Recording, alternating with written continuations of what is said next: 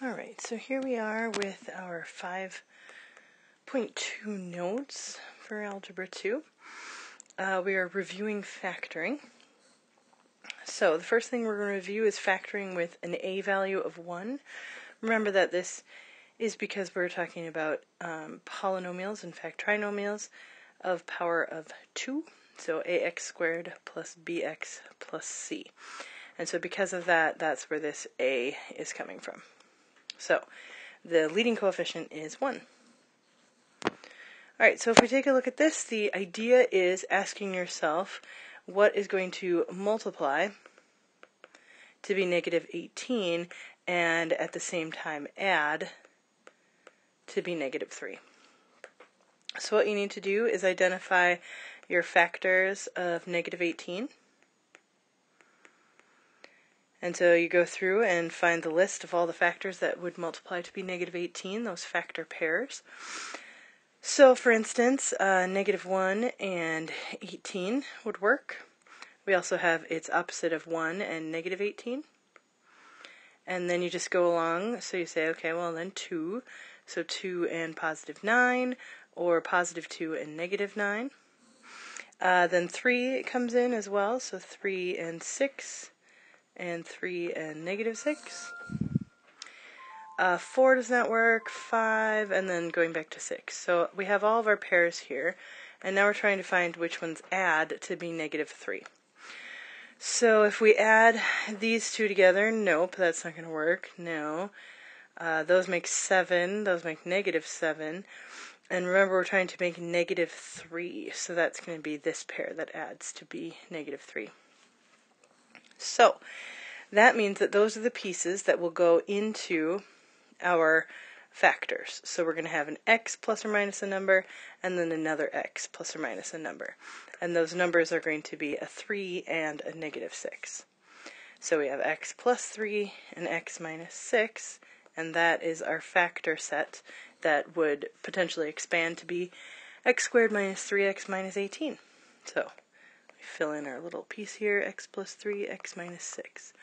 Um, you could also have x minus 6, x plus 3. It's fine if it's backwards or forwards. Um, doesn't matter which one's first. Alright. So then our other examples here are that a is not equal to 1. So now when we do this, there are actually a few strategies that you can use uh, to figure those out. First one I'm going to do um, is this one over here, and what you need to do is find out not what multiplies like the last one to be this last digit, but actually what multiplies to be the multi the product of both of those numbers. So we want it to multiply to be 6 times negative 5, or negative 30. So I'm going to find all the factors of negative 30, and then from there factor out. So, factors of negative 30. And the idea is I want to find a pair that is going to add to be positive 13. So listing out all of our pairs here, we've got negative 1 and 30, and 1 and negative 30. I always start with 1. Then we can do 2, so 2 and 15, or positive 2 and negative 15. 3 definitely goes into 30, so negative 3 and 10, and 3 and negative 10. Uh, 4 doesn't go, but 5 does, so we have negative 5 and positive 6, and positive 5 and negative 6.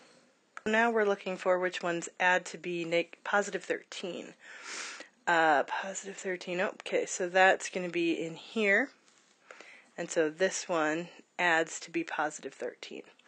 Uh, you might think these ones, but that's actually negative 7 and positive 7, so that's not going to work.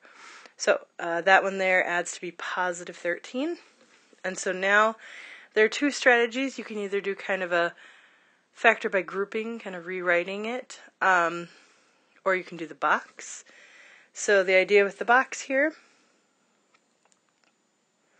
is that you get to fill in all the pieces.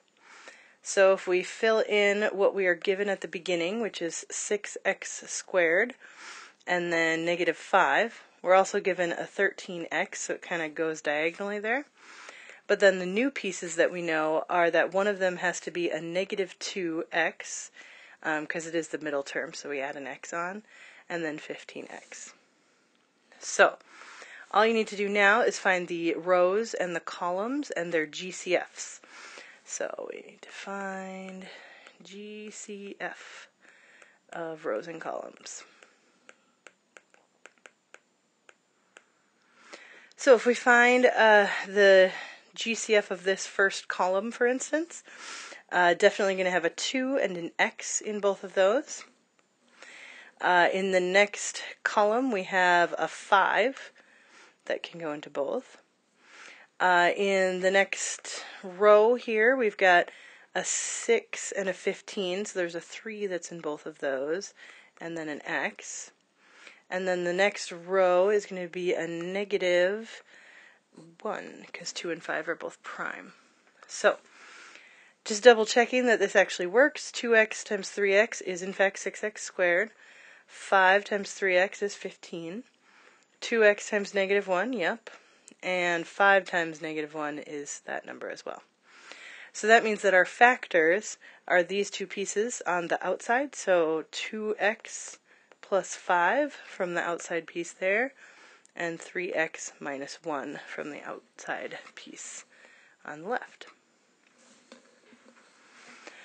So of course factoring with something uh, other than a leading coefficient of 1, um, of course, is going to be a little bit more complicated, but totally doable.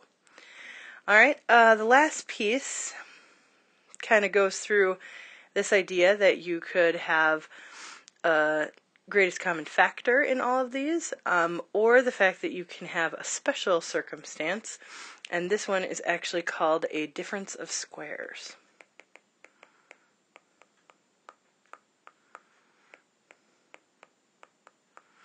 Now, you can actually do exactly what we did here, just realizing that your middle term would be 0 x's, and so you can find all of the factors that multiply to be negative 9 that add to be 0, and you can do this whole box again. Okay, uh, it will totally work out. Or you can identify that it's a difference of squares, which means that if you have uh, something squared minus another thing squared, that's going to equal, let's see, a minus b times a plus b.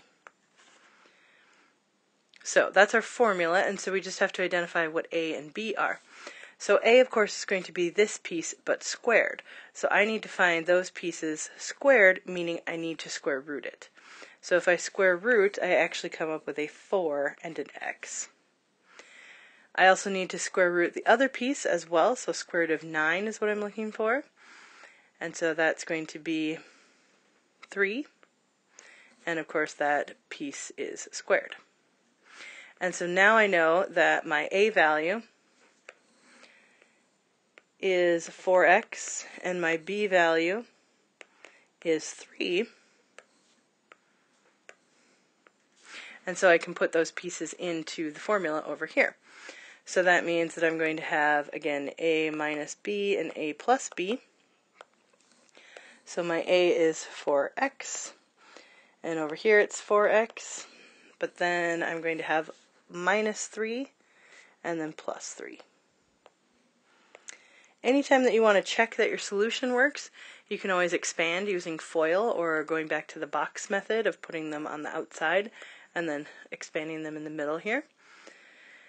And so that's the idea for our notes. So again, these are factoring review, and so you're going to have some in your assignment that have a leading coefficient of just 1, a leading coefficient that's not 1, and then also some extra factors like difference of squares, or ones that just have maybe a common number in all of them.